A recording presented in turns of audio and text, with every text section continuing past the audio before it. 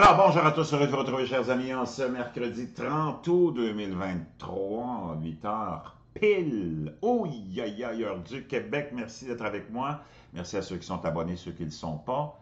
Faites-le maintenant. Merci à tous ceux qui m'envoient des messages et des liens aussi. C'est vraiment très apprécié. Je vous ai parlé de nos cousins français hier, avec l'histoire euh, de cette destruction du du raisin, des cépages qu'on a de trop.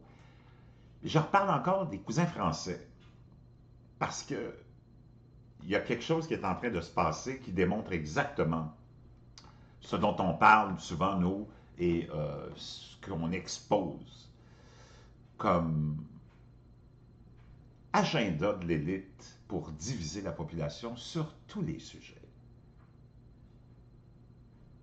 Et démontrer comment le gouvernement, hein, l'institution, qui est représentée par des marionnettes qui sont dirigées par des gens à un plus haut niveau, font tout à leur pouvoir pour te démontrer que tu vis dans un régime totalitaire et que leur seul et unique but, c'est de nous diviser. Et ça marche très bien. Là, tu as le nouveau ministre français D'abord, on a appris un... Moi, j'apprends un nouveau terme, un terme que je ne connaissais pas. Au moins, il y a ça de bien dans cette histoire-là, mais je vais vous expliquer pourquoi je suis contre cette décision-là. Et c'est, on en parle en France, naturellement, on en parle aux États-Unis aussi. Le nouveau ministre de l'Éducation va interdire le port de l'abaya. Moi, je savais Quand j'ai vu le titre, je dis mais qu'est-ce c'est quoi cette affaire-là? Moi, je connais le niqab, le hijab. L'abaya, je ne connaissais pas ça. Donc, finalement, on a appris quelque chose au moins. Mais là, le gouvernement français s'apprête à interdire l'abaya. L'abaya, donc, je me demandais ce que c'était. Je suis allé faire une petite recherche. L'abaya, c'est un, vêtement qui couvre tout le corps, sauf les mains, ou ça peut couvrir les mains aussi, euh, naturellement qui est porté par les femmes euh, musulmanes. La décision du gouvernement français d'interdire l'abaya dans les établissements scolaires met en lumière les divisions de l'opposition de gauche sur la laïcité. Si certains saluent l'initiative, la gauche radicale annonce mardi son intention de contester en justice. Donc, Macron vient de faire un coup de un coup fumant pendant que son administration n'a rien fait pour les Français de toute origine et de toute orientation sexuelle et de toute appartenance religieuse.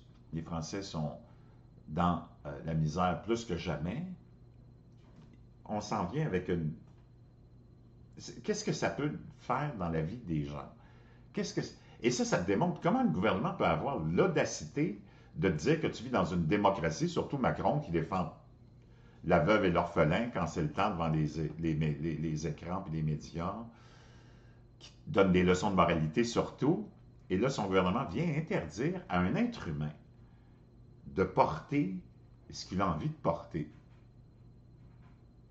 Ça démontre à quel point on est rendu loin dans la tyrannie de nos gouvernements. Moi, je je m'oppose à une décision comme celle-là parce que c'est une attaque aux droits fondamentaux. Voyons, c'est comme du n'importe quoi. Puis là, tu as des gens qui, sous le principe de la laïcité, as-tu vu où ça nous a amené, la laïcité? C'est un concept complètement farfelu, la laïcité. Tu peux pas avoir, c'est de la laïcité. Le gouvernement est jamais laïque par rapport à ses propres principes. C'est complètement frauduleux. Frauduleux. Eux autres, ils ont mis leur foi puis leur croyance dans le néant. Nos sociétés de l'hémisphère nord occidental n'ont plus aucun fondement dans la foi, n'ont plus aucune base religieuse sauf les gens qui viennent d'ailleurs, qui gardent leur foi, puis qui la pratiquent, et qui sont organisés. Puis nous autres, on nous a déplumés de notre foi au fil des années avec les, les médias, avec les artistes qui ont démonisé la christianité, qui ont démonisé la foi, pour t'amener dans un, un monde, notre monde à nous autres maintenant, qui est sans base religieuse, sans référence à Dieu. Donc, faut que tu fais référence à qui? Macron comme Dieu? Klaus Schwab, ton gouvernement? Tes artistes? Pas solide, là.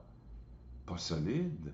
Pendant que ces gens-là te forcent, t'obligent à croire dans leur décision qui était justifiée d'une grande menace, puis d'une pandémie, puis de passeport sanitaire, puis de tout ce que tu veux, pendant qu'on veut que tu crois en l'urgence climatique, que toi, avec ta petite Renault, tu viens émettre tellement de CO2 que tu causes toutes les tempêtes, toutes les... On veut que tu y crois. Donc, il n'y en a pas de laïcité.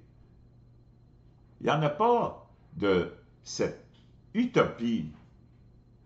Tu peux pas...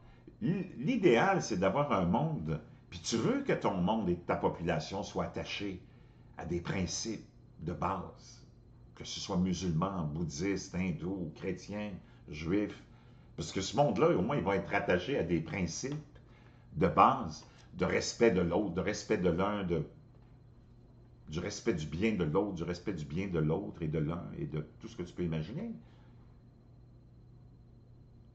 Alors que si tu es dans un monde où il n'y a aucune base de foi, tu as vu ce que ça donne dans l'hémisphère nord?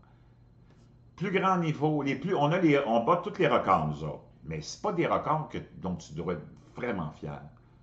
Parce que ça, ça vient détruire des vies. Toutes les vies sont détruites de tous ceux qui ont un néant un néant de foi. Tu peux avoir la foi dans n'importe quoi, mais il faut que tu aies la foi dans quelque chose, sinon ta vie n'a aucun sens. Si tu veux vraiment aider un individu qui vient au monde, en tant que gouvernement, tu penses que tu as une mission d'aider ton monde, hein, c'est ça qui se donne une mission, ben, c'est permettre à ces humains qui viennent au monde de leur donner toute leur chance et la chance de réussir dans la vie sans tomber dans la drogue, dans le vice, le sexe, le jeu, la déchéance. Puis pour faire ça, il faut que tu leur donnes des principes de base de foi en quelque chose d'extraordinaire, que la vie est magnifique, que tes frères et sœurs doivent être tes alliés. Comprends-tu? Puis c'est pas ça qu'ils font, là. C'est tout l'inverse. On est gouverné par Satan lui-même en hémisphère nord. OK? On a les plus hauts taux de suicide, les plus hauts taux de consommation de drogue, les plus hauts taux de consommation d'alcool, les plus hauts taux de consommation de médicaments de toutes sortes, les plus hauts taux de divorce, les plus hauts taux de décrochage, les plus hauts taux de détresse, de dépression. Puis ce monde-là, ça continue à l'école, avec le programme scolaire, à produire des gens qui n'ont aucune base, aucune foi, puis qui ne sont pas équipés pour faire face à la vie, pour embrasser la vie. Tu peux avoir la foi que tu veux, parce que tu peux vivre en harmonie avec toutes les autres qui ont une foi. Dès que tu as la foi, tu as déjà une base de respect. Donc, cette décision du gouvernement, c'est encore là de la, poudre aux yeux pour diviser le monde. Ça amène rien de positif. Ça changera rien dans ta vie qu'il y ait une femme qui soit habillée avec... Euh, moi, j'avais, je connaissais pas ce terme-là, et cette tenue vestimentaire-là, l'abaya. Qu'est-ce que ça peut bien être foutre? On ne te demande pas de la porter. C'est complètement, complètement aberrant le jeu de la division de ces laïcs. Tu as vu ce que les laïcs font à la société? Ce que la laïcité a fait à l'hémisphère nord, au Québec, au Canada, en Europe, tous ces pseudo-pays laïcs. tu vu le résultat de ça? Puis moi, je vais dire une chose, on va avoir besoin de ces musulmans, de ces bouddhistes, de ces tous ces gens qui ont une foi encore, qui sont attachés à leur foi, à leur tradition, à leur croyance, pour nous sauver, nous autres. Tu as vu dans quelle déchéance on est rendu? quand tu es rendu à penser qu'un homme qui se met du rouge à lèvres, puis un petit peu de make-up, peut prétendre être une femme, puis vient abaisser la femme, puis vient ridiculiser la femme, puis vient ramener la femme comme un citoyen de troisième ordre, puis que dans nos sociétés occidentales d'hémisphère nord, laïques, la biologie n'existe plus, puis que c'est devenu controversé de dire qu'il y a deux genres, c'est devenu controversé de dire que toute l'humanité est sortie du ventre d'une femme et non pas d'un zigoto qui a le droit de vivre sa vie comme il veut. Moi, ta vie sexuelle, tu peux la vivre comme tu veux, là, OK? Ça te fait triper de t'habiller avec une jupe, te mettre du rouge à lèvres, te faire baiser par tous les voisins de la rue, moi, ça ne me regarde pas. Mais que ton monde laïque qui t'a amené dans la l'abysse du néant,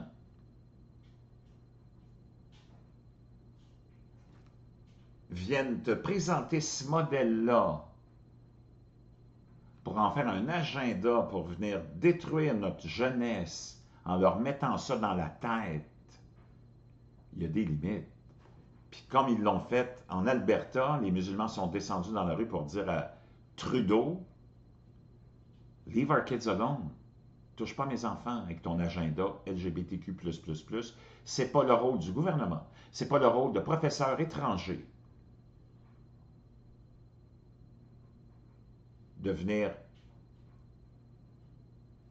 expliquer aux enfants ces questions de genre, ces questions sexuelles, puis ces questions qui sont du rôle exclusif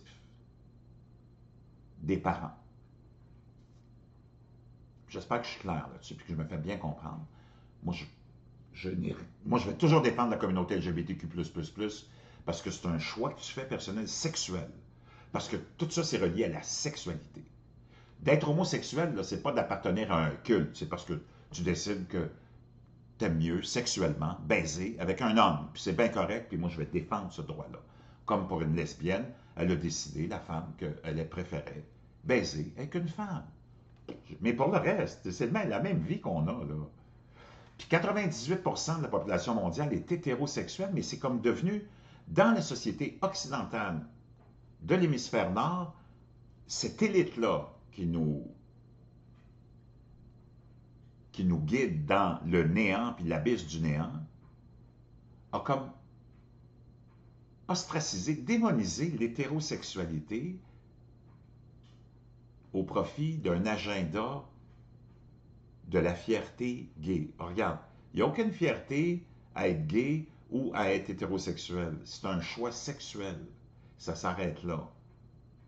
Puis d'avoir fait la promotion pendant des décennies de la fierté, la fierté, la fierté, puis d'avoir imposé ça dans des programmes scolaires, tu l'enfant qui est là qui se dit Oh mon Dieu, une fierté être gay, mais il n'y en a pas à être hétérosexuel, alors que le monde existe à cause de l'hétérosexualité, l'homosexuel lui-même existe à cause de parents hétérosexuels, et toutes les autres aussi, là.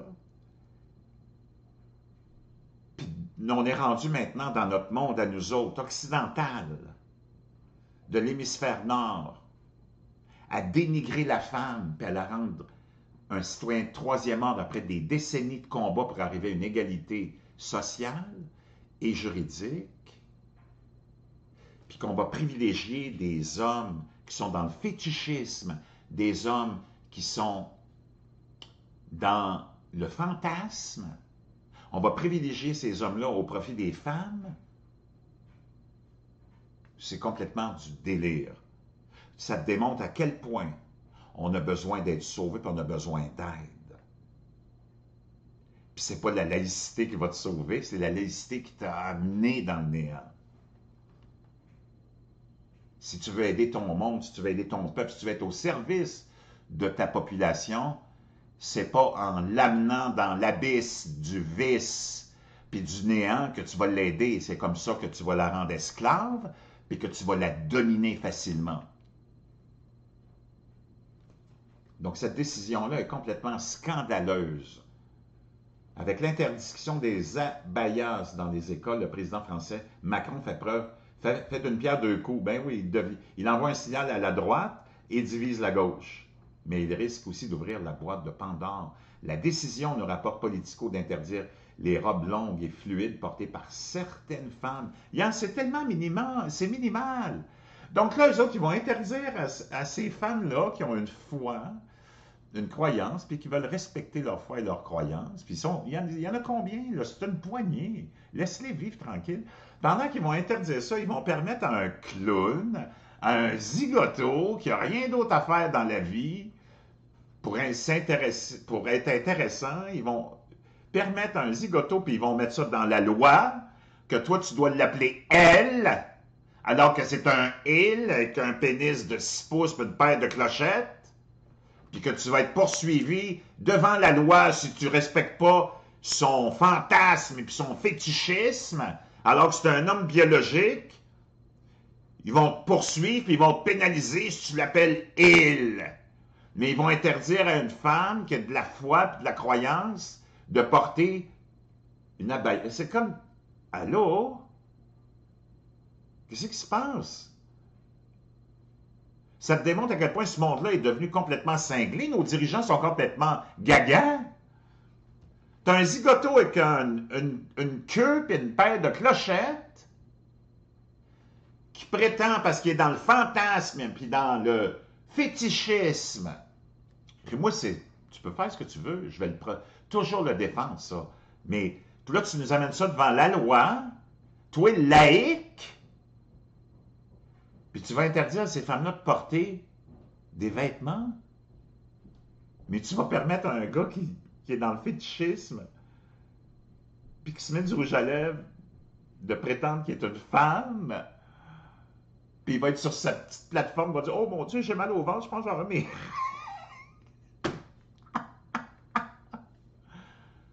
Moi, je ne sais pas, mais wow, c'est rendu vraiment, on a besoin d'aide. On a vraiment besoin d'aide. Je vous laisse ça dans la boîte de description. Moi, je suis plus capable. À plus.